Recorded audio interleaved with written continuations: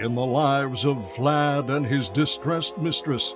Where will they go? What will they do? All of that and more happening